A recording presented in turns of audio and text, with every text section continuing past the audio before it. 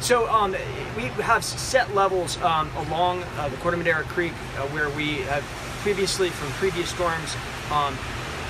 had a, a level that would overflow the banks, and we're at 12 feet right now, and at 13 feet, um, that would get into the residence and the structure. So at 12 feet, we made the uh, determination to sound the alarms uh, and also notify all the residents via our uh, alert system on text messages and uh, their landline phones that the creek's at a critical level at this point and uh, to be on a heightened alert if they have vehicles in low-lying areas to remove them at this point and to be ready if the creek does flow any higher than its current state. Do you expect it to? Um, you know, we have uh, several cells still off the coast that we're looking at, and we believe that those cells um, are going to be pushing into the area. If they get stalled in the watershed, um, it could have another two feet of rise, which would put us into those critical levels that we would see um, residents uh, affected.